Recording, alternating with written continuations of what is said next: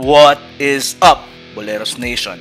JV Mocon at Bo Belga. Papunta na nga bang SMB? Bago ang lahat, gusto ko munang i-shoutout ang ating mga kaboleros na si Anthony Lucky Alon at ang aking kaibigan na si Carlo. Maligayang bati sa iyong arawan and more birthdays to come. Bago tayo pumunta sa mga kumakalat na balita, gusto ko munang batiin ang Converge ICT kasama ang owner nito na si Mr. Dennis Uy at ang kanilang team governor, former Commissioner Chito Salud.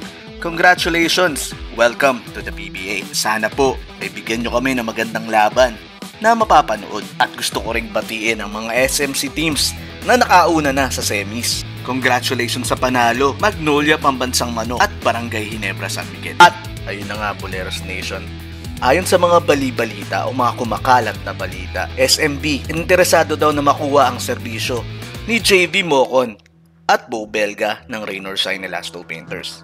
At ang kapalit nito ay si Marshall Lassiter, Vic Manuel at Simon Enciso at Boleros Nation. Gaya ng dati, magbibigay lang ako ng aking personal na opinion. Para sa SMB, magiging advantage ito sapagkat si JV Moco na isang rising star sa PBA at makakapagbigay ito ng two-way play para sa SMB na nawala sa kanila sa pagkawala ni Arvin Santos. At si Bo Belga naman, alam naman natin na may edad na pero may ibubuga pa, may kipagbanggaan at may tira din sa labas. So certainly, makakatulong to sa spacing ng SMB. Para sa Raynor Sai naman, magkakaroon to ng veteran presence mula kay Vic Manuel at kay Marshall Lassiter. Kay Marshall Lassiter, outside shooting, kay Vic Manuel ang inside scoring. At tingin kong mas magiging better fit ito para kay Vic Manuel. Dito, masosolo niya ang ilalim at hindi sisikip unlike ngayon sa SMB nakasama niya si Junmar Fajardo sa ilalim. Para naman kay Simon Enciso, mapapakita niya kung ano talaga ang kagalingan niya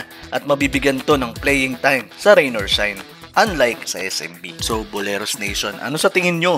Matutuloy ba ang trade na to? At kanino ba papabor ang trade na to kung sakaling matuloy? Please leave a comment on the comment section below. At kung nagustuhan nyo ang content ko na to, please don't forget to hit the like at mag-subscribe. Hit nyo na rin yung notification bell para ma-update kayo sa mga upcoming videos ko and Boleros Nation, I'm out. Peace out.